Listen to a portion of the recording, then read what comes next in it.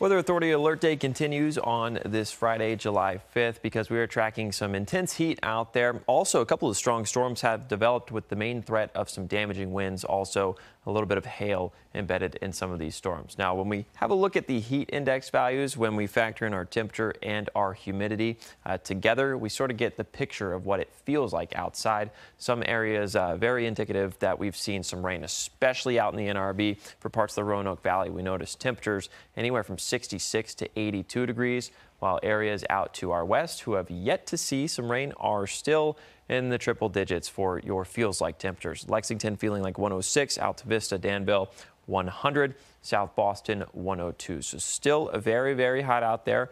Our peak heat indices have been anywhere from about 90 all the way up to about 108 degrees. So certainly been hot and steamy out there this afternoon.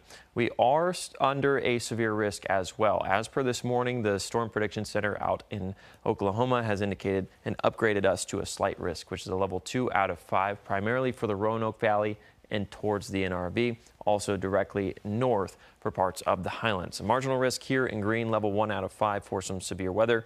We are currently tracking some severe weather as we've had over 300 total lightning strikes within the last 10 minutes across the viewing area. So uh, a severe thunderstorm warning in effect for parts of Botetourt County uh, the city of Salem, the city of Roanoke, and Roanoke County until about 5:30 this evening. So that will expire in about 11 minutes. Time could be extended as we are tracking uh, some really heavy rain, also some gusty winds, possibly even some pea-sized hail embedded in there. You'll also notice these green polygons down here. These are flash flood warnings because the ground has been so dry because we've had a lack of rain for the past basically three weeks or so, uh, the ground is having a hard time soaking up some of this rain. So flash flood warning in effect for Patrick County till 8:15.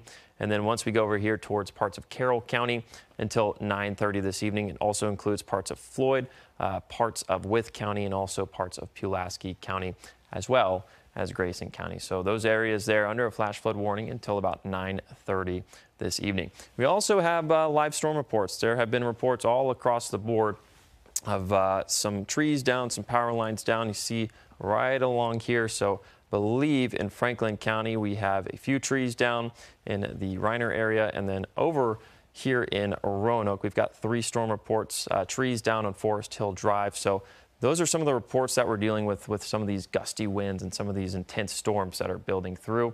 Uh, future casts heading into the rest of the night will actually uh, start to clear up by about midnight or so. And again, all this rain that we're receiving is good. We just don't need it in the boatloads that we've been seeing recently. Uh, we are under severe drought still. The next uh, drought monitor will come out next Thursday, so I suspect we'll be downgraded a little bit to a moderate drought in uh, some of our backyards, but still desperately needing the rain, just not all at once like we're receiving right now. Low temperatures as we head into the night, anywhere from about 68 to 74 degrees. And the latest information on Tropical Storm Beryl now has been uh, downgraded to a tropical storm earlier this morning. Winds still sustained at about 65 miles per hour, and it will be building into the Gulf of Mexico here in the next couple of hours. And I do think it'll regain hurricane status because temperatures out there are in the mid 80s across parts of the Gulf of Mexico. Your seven day forecast has rain chances 20 to 30 percent over the next seven days. Temperatures anywhere from 87 to 93.